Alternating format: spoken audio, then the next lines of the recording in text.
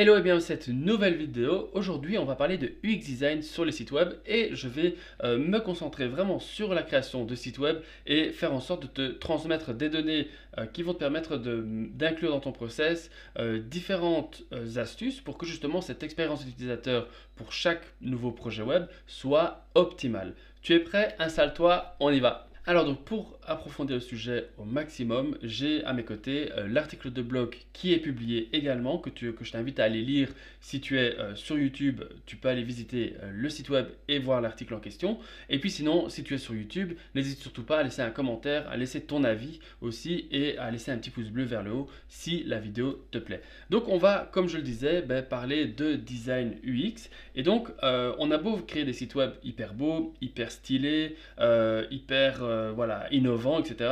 Mais pourquoi est-ce que parfois on arrive quand même à des résultats qui sont magnifiques, mais qui ne convertissent pas? Alors bien sûr, aujourd'hui, il y a le design, mais aussi le besoin de conversion. Et donc, comment est-ce qu'on va matcher les deux pour que vraiment les deux euh, fonctionnent euh, côte à côte et nous apportent ben, un maximum de conversion? Eh bien, on va voir aujourd'hui dans cet article différentes pratiques que j'ai mis en place et que j'ai rassemblées pour toi aujourd'hui dans un article et en vidéo pour que justement tu puisses toi aussi de ton côté, pour toi et tes clients, ben, faire en sorte d'avoir une meilleure expérience utilisateur. Alors avant de commencer l'article, j'avais un petit sondage à euh, te proposer et donc je voulais savoir si selon toi, si les personnes sur les sites web ne retrouvent pas euh, ce qu'ils recherchent ou tu vois ne, passent pas à l'action, quelles, seraient, quelles, en seraient les causes euh, Est-ce que c'est parce que le contenu ne les intéresse pas, tout simplement Donc ça c'est la première solution. Est-ce que la deuxième c'est de toute façon, enfin le site ne, ne leur plaît pas, alors donc c'est pas à leur goût. Ça me semble un peu euh, difficile, mais voilà, c'est possible qu'en fonction de la cible, bien sûr, ce ne soit tout simplement à côté de la plaque, que ça ne matche pas avec le public, et donc il va, euh, c'est clair que ça va moins bien fonctionner. Et puis sinon, la troisième solution, c'est euh, tout simplement que le, la, navigation sur le site est difficile, et donc là, on touche à l'expérience utilisateur, donc ça veut dire que le site est beau, mais il n'est pas fonctionnel, et donc du coup, l'utilisateur est frustré, il trouve pas ce qu'il recherche, bref, il quitte la page, c'est fini, la, conversion est perdue. Donc, est-ce que c'est une des trois? Parle-moi de tes idées, partage-moi ta vision des choses euh, en commentaire dès que tu vois cette vidéo. Alors, au sommaire aujourd'hui, on va parler de 5 points. Et donc, le premier point, ça va être euh, le fait de choisir sa patte, choisir son style. Et pour ça, il y a euh, trois idées que j'ai envie de te proposer. Ce sont trois styles très prédominants aujourd'hui euh, dans le design. On va voir ensuite, ensuite aussi de ne jamais oublier la structure et donc le sitemap, bien entendu. C'est vraiment hyper important et je t'invite à le faire dès aujourd'hui si tu ne le fais pas encore. Parce que si tu ne crées pas une structure ou un sitemap avant même de passer au design, tu vas vraiment partir en sucette quand il va s'agir de euh, créer le design, d'imaginer l'expérience utilisateur. Donc vraiment, l'expérience utilisateur commence par une structure, un bon briefing avec le client pour que justement on puisse démarrer quelque chose de cohérent et de pas mettre du contenu qui soit inutile pour notre visiteur. Ensuite, on va parler aussi de, du menu. Donc là, ici, je te propose de le mettre en sticky. Et là aussi, de bien penser, bien entendu. Pas toujours le mettre en sticky, ce n'est pas une obligation, mais c'est toujours bien d'avoir cet objectif en sticky pour que justement, pendant la lecture de l'article ou pendant la visite du site web, il y a toujours l'objectif euh, en face de l'utilisateur, donc il ne risque pas de passer à côté. Ensuite, on va voir comment c'est important de euh, parler de copywriting et de bien euh, mettre en place ben, les mots, de les mettre au bon endroit au bon moment, pour que je, et avec le bon langage aussi, pour que justement ce soit simple à comprendre pour monsieur tout le monde et pour la personne qui va en tout cas euh, visiter notre site internet. Tu vas pouvoir utiliser un jargon particulier si tu es vraiment dans une niche bien précise, mais sinon il faut vraiment parler simplement euh, pour que justement le visiteur lambda puisse arriver sur le site, comprendre de quoi il s'agit et aussi lire tout au long de, euh, de son scroll le site internet. Ensuite, on va finalement terminer avec comment on va réaliser des tests pour que justement tu puisses, avant la publication ou avant d'aller trop loin dans le projet, de faire des tests avec des utilisateurs qui seraient donc euh, la cible idéale ou même toi, on verra ensemble comment on va mettre ça en place. Voilà, je te propose de commencer l'article tout de suite avec le point numéro 1 qui est de comment choisir sa propre patte. Alors c'est important d'avoir sa patte euh, en design aujourd'hui parce qu'évidemment aujourd'hui il y a beaucoup beaucoup de sortes différentes. Il y a des euh, modes qui passent comme euh, la mode dans, dans, les vêtements, mais il y a quand même toujours une norme qui est présente et qu'il faut suivre idéalement pour que justement le visiteur ne soit pas trop perdu. Alors, il y a différents styles. Moi, j'en ai rassemblé trois qui, selon moi, ce sont les trois styles fondamentaux de base. Donc, bien sûr, il y a des déclinaisons de ces trois styles. Donc, euh, tu vas peut-être pas retrouver des styles que tu as peut-être vus ailleurs ou qui sont peut-être euh, récents. Mais Ici, j'ai envie de te partager donc les trois principaux types de design qu'on va pouvoir utiliser. Alors le premier, c'est le flat design, le deuxième, c'est le material design et le troisième, c'est le minimalisme design.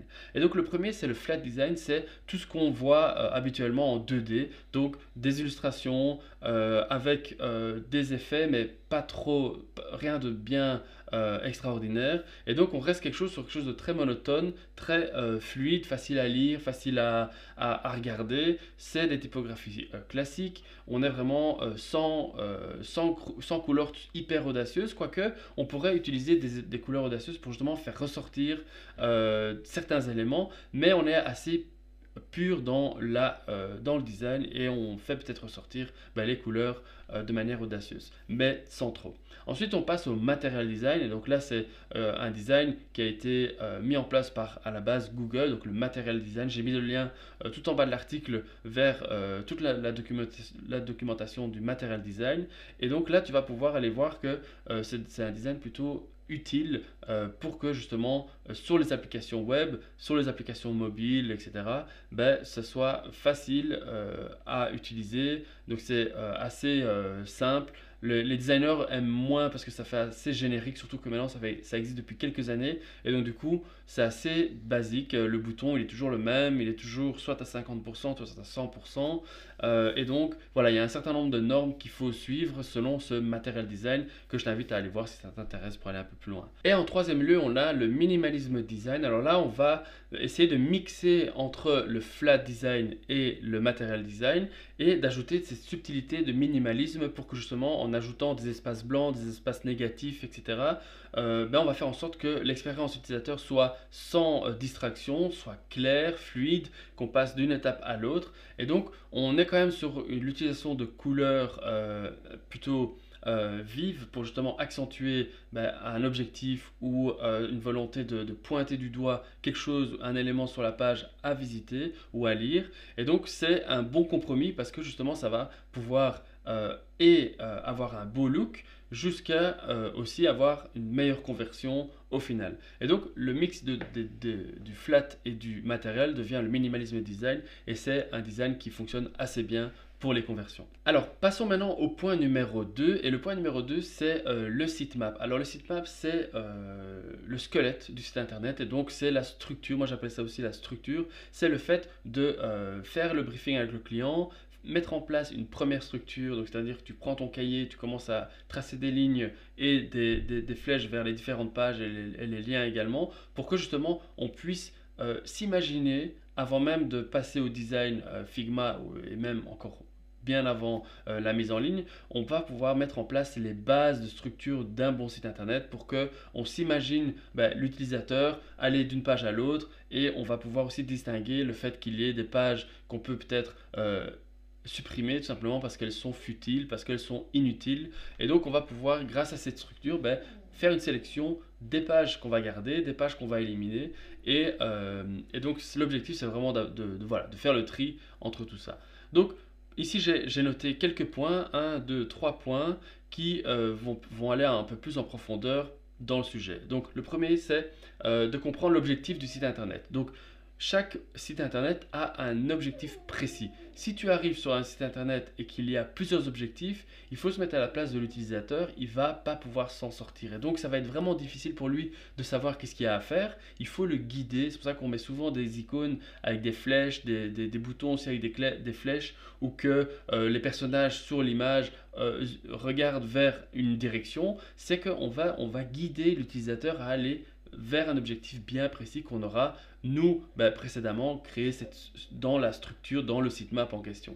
Donc ça, c'est le premier point. Ensuite, euh, de l'autre côté, on va parler de l'équipe qui conservera le site. Donc ça va aussi aider euh, le fait de créer une structure. Ben, imaginons qu'un site internet soit créé par une équipe. Le fait d'avoir cette structure en place dès le départ et l'objectif, on va pouvoir transmettre à l'équipe ben, les, informations euh, utiles que, euh, pour que tout le monde soit sur la même longueur d'onde, pour qu'on soit sur le même, euh, le même plateau. Et donc, ça va permettre de faciliter la communication entre les membres de l'équipe, que ce soit avec le designer, le développeur, le chef de projet, etc tout va pouvoir mieux fonctionner ensemble. Donc vraiment, le sitemap, c'est une des choses très importantes. Donc c'est la, fondation du site internet.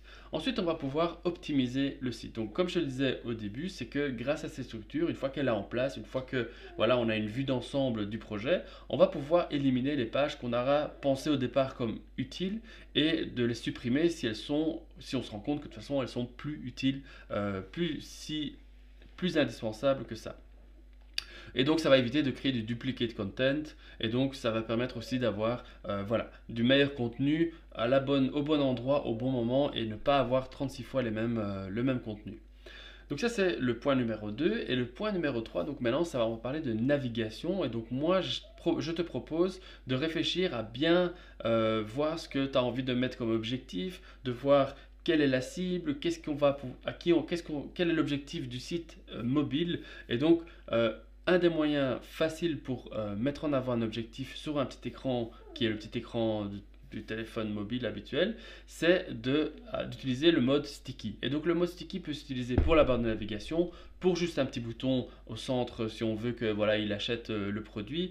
Il peut, il peut se trouver en bas à droite aussi, en bas à gauche. Bref, c'est un endroit où il n'est pas gênant à la vue pour l'utilisateur et que ça reste toujours facile d'accès. Et donc, il, doit à la fois être visible, mais pas gêner l'utilisateur. Donc, les éléments affichés sur le menu doivent apporter de la valeur. Donc, ça aussi, c'est important. C'est que euh, tu vas pas euh, mettre euh, le, logo, éventuellement, tu peux le mettre, mais tu vas pas mettre trop d'informations sur ce menu. Le but, c'est pas de transposer exactement tout la barre de navigation desktop en petit. Euh, il faut quand même sélectionner, éliminer ce qui, n'est pas euh, intéressant ici dans la situation et donc garder que l'essentiel, faire en sorte que euh, voilà, on a l'objectif en face mais soit pas déroutant pour l'utilisateur. Ensuite, il faut que, euh, donc comme je disais, il faut un bon niveau de contraste. Donc, il faut à la fois qu'il soit visible, mais discret en même temps. Donc, ça, pour ça, il faut euh, choisir des, formats qui soient standards et ne pas avoir des, trop gros éléments, sinon ça devient euh, pas pratique du tout. Ensuite, faire en sorte que le, euh, le contenu soit facile à lire. Donc là, c'est important d'utiliser des typographies qui soient euh, standards. Donc par exemple, le 16 pixels, c'est standardisé sur les smartphones. Il faut utiliser au minimum la taille de 16 pixels parce que sur les smartphones, c'est la taille euh, que Apple estime comme la plus petite. Et donc, c'est important de suivre celle-là. Donc là aussi, un texte facile à lire et à la bonne taille, c'est vraiment important. Et donc, le menu sur le desktop, comme je le disais là tout de suite, c'est qu'il ne faut pas forcément tout remettre dans le menu de mobile. Il faut vraiment être sélectif et garder que l'essentiel pour que l'expérience euh, mobile soit légère, fluide et que l'expérience desktop est plus détaillée, plus complète. Donc ça, c'est des pratiques tout à fait euh, courantes. Donc moi, il y a par exemple des projets où le site euh, desktop, il est hyper détaillé et où la barre de navigation sur le mobile est hyper simple, hyper épurée, où on enlève même limite des menus qu'on se dit inutiles pour l'utilisateur. Parce que sachant que l'utilisateur va rester quelques secondes sur un téléphone mobile. Voilà, il faut qu'il arrive sur le site, il faut qu'on lui dise qu'est-ce qu'il faut faire, il passe à l'action et puis basta, on passe à autre chose. Au final, il va rentrer chez lui, il va aller sur son ordi, il va regarder un peu de plus près qu'est-ce qu'il a vu la journée, bref, euh, c'est un peu l'idée qu'il y a aujourd'hui sur les appareils mobiles. Alors le point numéro 4, c'est d'utiliser le bon copywriting et donc l'écrire euh, de la bonne manière. Donc on va pas parler de copywriting, de technique, euh, de mettre les mots dans le bon ordre et d'avoir vraiment une histoire à raconter. On va plutôt parler de UX writing. Et donc là c'est l'écriture de l'expérience utilisateur. Et donc ça va permettre aussi euh, d'avoir cette réflexion sur le site internet et, et permettre aussi d'avoir une meilleure expérience tout simplement. Et donc utiliser les bons mots et des mots simples, assez intuitifs, assez courants pour la cible et pour euh, le marché pour lequel on crée le site internet, c'est vraiment primordial. Donc il faut euh, imaginer des phrases qui soient ni trop longues ni trop courtes, juste ce qu'il faut pour que ce soit compréhensible pour l'utilisateur. Donc par exemple, ici j'ai mis un exemple d'une phrase compliquée. Euh, veux-tu enregistrer les modifications? Voilà, déjà il y a plusieurs mots, c'est un peu long, alors que tu mets juste enregistrer les modifications. Voilà, on passe directement à l'action, c'est beaucoup plus simple, beaucoup plus concis, et donc on, va vraiment privilégier ce genre de mots pour que ce soit, pour qu'en deux mois, voilà, on dit qu'est-ce qu'il faut faire, qu'est-ce qu'il y a à, faire pour passer à l'étape suivante, par exemple. Ensuite, il faut utiliser des termes familiers. Donc, rien ne sert d'avoir des jargons euh, incompréhensibles, sauf parfois, des fois, quand on parle vraiment pour une cible très très spécifique, qui utilise des termes aussi du coup très euh, spécifiques et un jargon bien, euh, bien ciblé à la niche en question. Là, éventuellement, tu peux jouer avec quelques jargons, mais sinon, il faut vraiment rester dans des mots familiers, avoir un langage simple, facile à comprendre, facile à lire. Donc, c'est important de se avant de, passer à autre chose. Il faut vraiment créer ce texte euh, pour que ce soit euh, facile, compréhensible, lisible aussi sur les, petites, petits appareils. Donc c'est important de, penser à tout ça. Et donc aussi, voilà, avoir une certaine conformité. Donc euh, si tu décides de parler en tu, il faut parler en tu sur tout le site. Si tu, utilises, si tu préfères utiliser le vouvoiement, tu fais aussi utiliser aussi voilà, avoir la confiance de l'utilisateur. Donc il faut lui parler. Euh, j'ai bientôt un article qui va sortir avec les emojis, l'utilisation des emojis par exemple dans les emails ou sur les sites internet.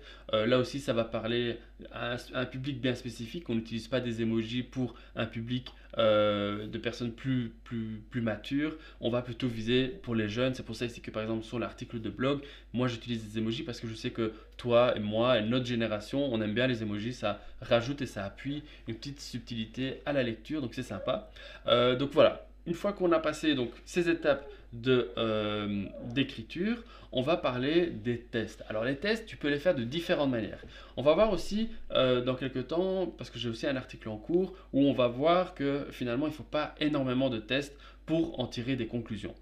mais ici, ce que j'avais envie de te partager, c'est qu'il faut créer des prototypes le plus vite possible et ça veut dire qu'il faut créer des prototypes, ça peut être sur papier, ça peut être euh, vraiment sur un bout de serviette, n'importe. Euh, tu peux créer des prototypes soit manuels, soit utilisés sur euh, les outils design, Figma, Adobe XD et compagnie. Mais parfois, le fait de le faire sur, un, sur du papier, eh bien, ça enlève toutes les contraintes des logiciels qu'on a. Ça évite d'utiliser la souris, bref, tous ces éléments-là qu'on a à nos dispositions qui finalement nous poussent à toujours euh, se focaliser sur le design alors qu'une structure doit être vraiment très très simple. Donc un prototype, il faut vraiment, dans l'idéal, c'est de prendre un bout de papier, une feuille blanche et tu commences à euh, dessiner avec ton crayon des idées pour que l'expérience utilisateur puisse être testé et puis imaginer bien, bien entendu. Et donc, euh, aussi, donc pour tester, il faut euh, pas le faire tester à n'importe qui, il faut le faire tester à déjà des personnes susceptibles d'être le client idéal pour que justement ben, l'expérience qu'il va euh, avoir avec la visite de ton prototype au départ, eh bien, se fasse correctement. Et donc, on va pas faire tester un site internet à sa belle-sœur, à son frère, etc. Même si il pourrait être la cible du projet en question. Donc là, c'est une bonne chose. Mais si euh, la cible c'est euh, des euh, plus ados et que on, et que ton frère ou ta sœur est plus âgé, ben voilà, ça n'a pas trop de sens. c'est pas pas le but du jeu. Ensuite, le principe du test, c'est bien entendu de d'avoir de le faire soi-même. Donc toi-même, tu peux être autocritique. Et là, si tu as cette capacité à euh, t'autocritiquer face à tes créations, eh bien, c'est un plus parce que non seulement tu vas pouvoir faire tester tes créations à d'autres personnes susceptibles d'être les clients idéaux, mais toi aussi en tant que designer, c'est toujours bien d'être autocritique, de se dire tiens, si je me mettais à la place de l'utilisateur final, est-ce que ça correspond à ce que euh, il a envie de retrouver sur un site internet? Si c'est le cas, tant mieux. Si c'est pas le cas, tu te remets en question et on recommence à créer des prototypes pour que justement ce soit plus que ça matche avec notre visiteur.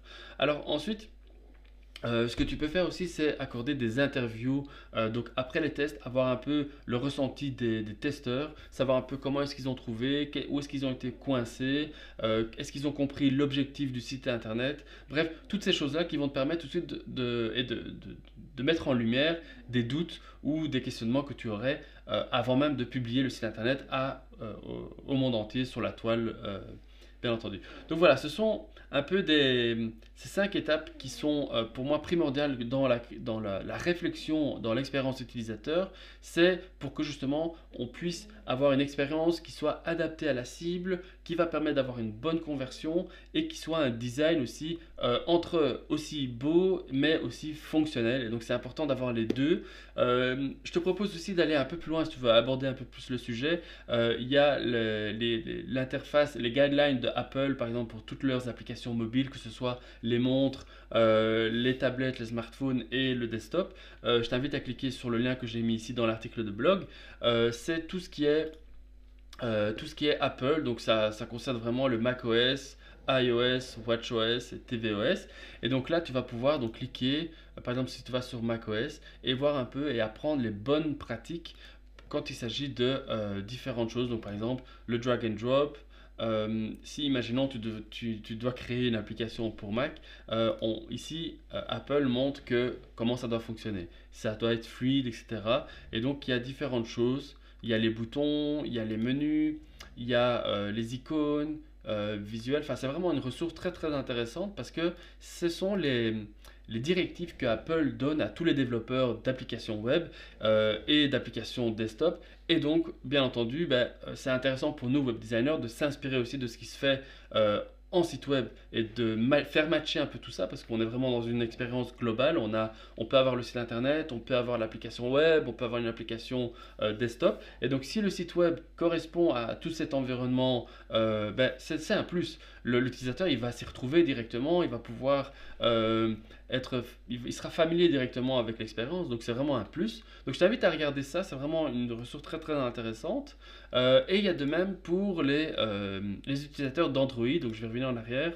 Euh, donc, hop, j'ai mis aussi ici le material design. Euh, c'est un peu le même principe. Ah, je me suis trompé. Je vais noter ici. Material design. Donc voilà, on y arrive assez facilement. Euh, donc là en fait c'est un design, un guide, un, des guidelines aussi utilisé par du coup Google et tout ce qui est euh, Android. Et donc là, tu as tout ce qui est euh, icône, tout ce qui est euh, typographie, voilà, la bonne utilisation. C'est spécifique à Google et Android. Mais là aussi, en tant que web designer, c'est intéressant d'aller voir un peu ce qui se fait pour utiliser des normes que eux utilisent dans la création de sites web pour que justement, on puisse, il faut pas à chaque fois réinventer la roue. Tu peux utiliser des designs, des, des, des habitudes utilisateurs préétablis et le mettre dans un design plus innovant tout en gardant une certaine familiarité pour pas le perturber, pour pas que l'utilisateur se perde finalement sur ton site et ne retrouve pas ce qu'il recherche, etc. Voilà, c'était un peu le, sujet de la vidéo aujourd'hui. Donc n'hésite pas à laisser un commentaire euh, juste en dessous si tu as la moindre question, si tu as des remarques, si tu as des idées à partager. Je, t'écoute aussi euh, soit en dessous du blog, soit sur la chaîne YouTube, juste en dessous dans les commentaires. N'hésite pas à liker, à suivre si tu ne me suis pas encore, à t'abonner bien sûr. Et puis sinon, on se voit dans quelques jours pour une nouvelle vidéo. Allez, je te dis à bientôt. Salut, ciao